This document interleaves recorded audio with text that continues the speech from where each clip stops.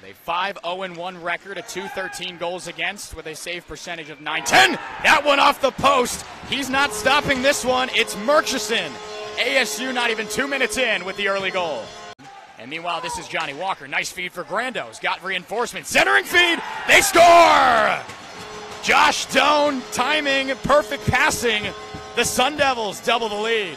Rush that time, but Sema kind of put his man in a bad spot that time for the shot. Almost got knocked down. O'Reilly one timer. He scores. Beautiful setup. ASU with three in the first period. And it's up ahead from Malone. Hitting Zutker. Dropped off here. Nice hit by the Sun Devils, but Tyson couldn't pick up the puck.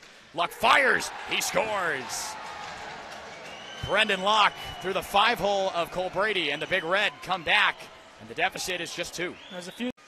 Becker again puts one on. A weird deflection, and Shane, the freshman, showing his skill in net, sliding and staying with it right off that Cornell lettering on his uniform. Off.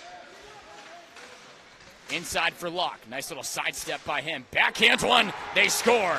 The captain has number two on the night, and a one goal deficit now for Cornell. They've come here all the way back. It's it off for Kopperud.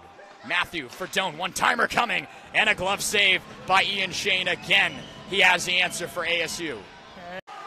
Andreev running out of time. Three seconds now, too. One last shot. Brady makes the save, and that is the hockey game. The Brooms have been brought out in Tempe. They finish off Cornell and barely hold on. 3 2 the final.